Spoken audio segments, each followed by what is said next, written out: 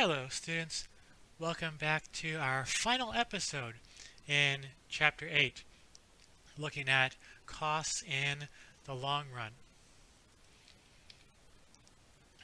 So the big difference between the long run and the short run is that firms have extra flexibility in the long run. In particular, their fixed costs go away. Here's an example that illustrates that idea. So maybe in the short run, you've got a one-year contract where you're renting out a storefront in the mall, and you got to pay your rent every month, whether or not you produce anything and whether or not you sell anything. So that cost for you in the short run is a fixed cost. In the long run, though, that contract eventually expires, and now you're not forced to keep paying rent after the contract expires. You could choose to not rent there anymore. So that fixed cost goes away once that contract expires in the long run. We have a lot of abbreviations in this chapter, so now we're going to add two more. SRATC is short run average total cost. Similarly, LRATC is long run average total cost. Now because the firm has extra flexibility in the long run, it's not compelled to renew those contracts for its rent. The long run total average total costs are never going to be above the short run costs. So at best, the short run costs can equal long run costs if renewing that contract is still in the firm's best interest. If it's not, then the firm is less flexible in the short run and higher costs and lower costs in the long run.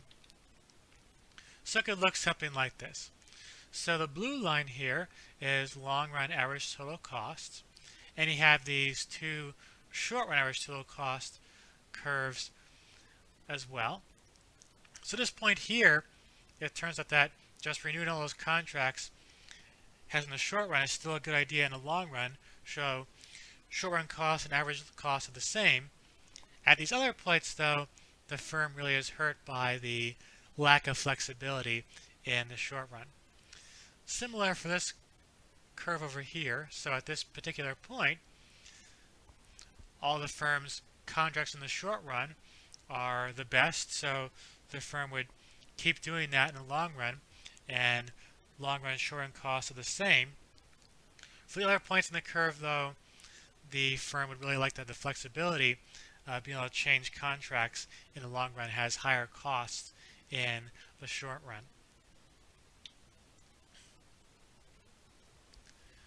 So we say that we have economies of scale if long run average costs fall when quantity rises.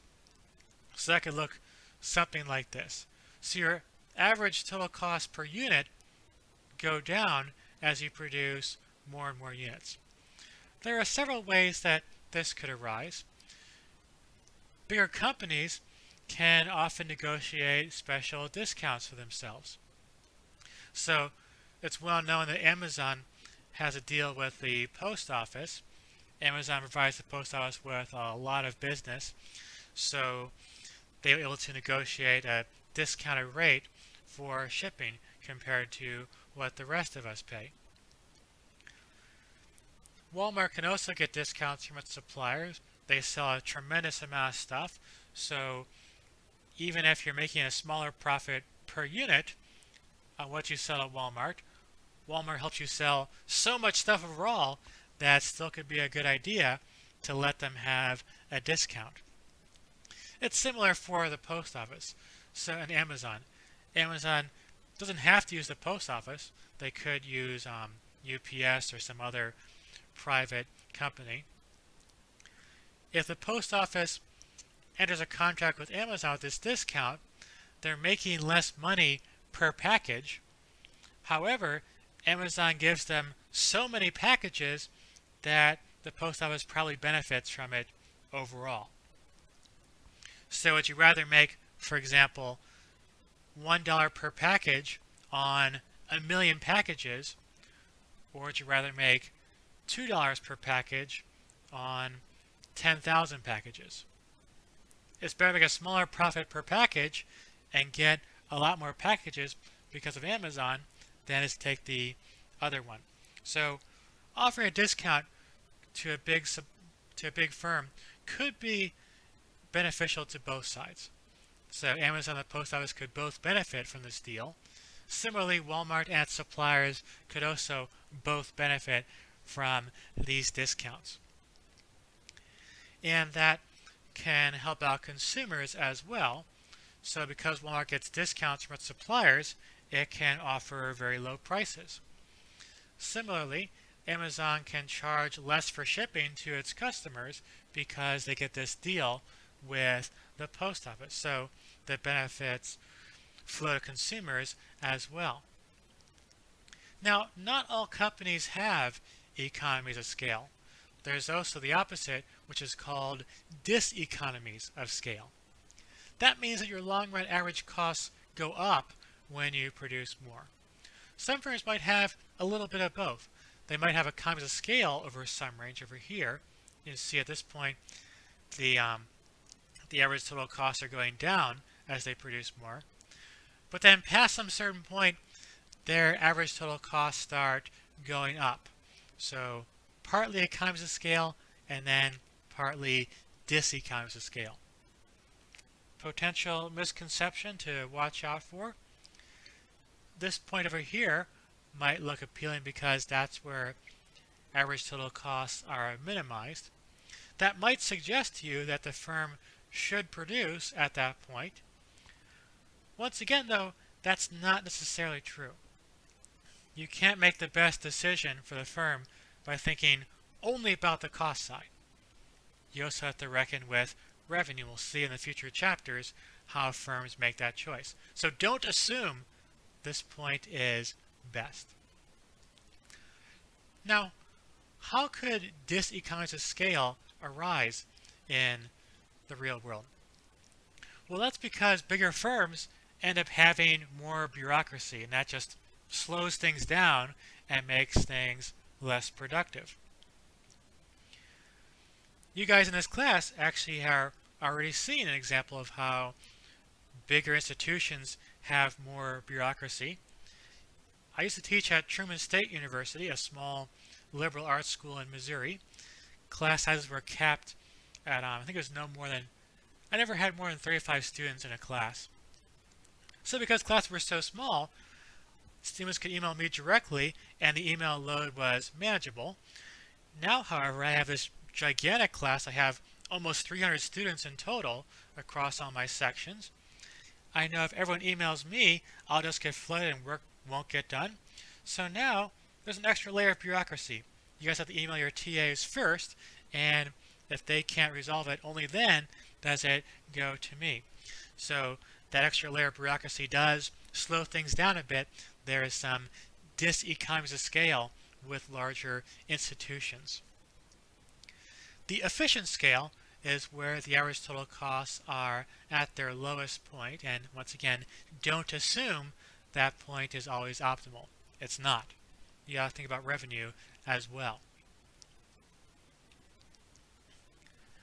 Now, your book has some idiosyncratic terminology that I don't recommend you guys using.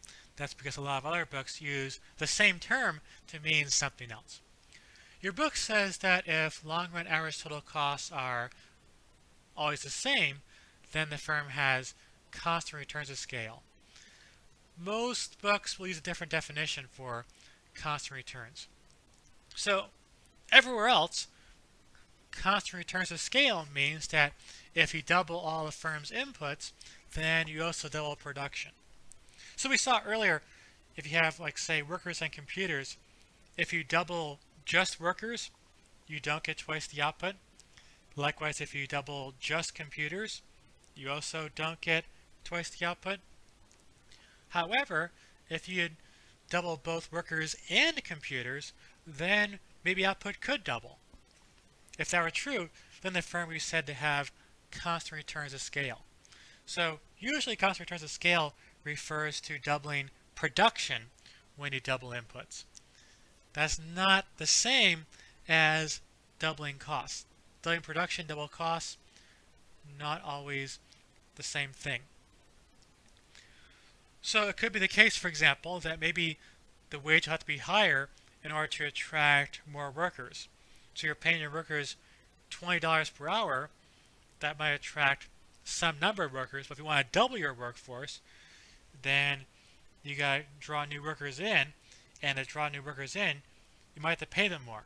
So your wage cost might not be fixed, and your total cost, therefore, could more than double. If I have to pay twice the workers the same wage, that might cost double, but I'm paying them a higher wage to attract new workers, then my wage cost might more than double. So doubling your cost, you double up, when you double your output, that might not double your cost.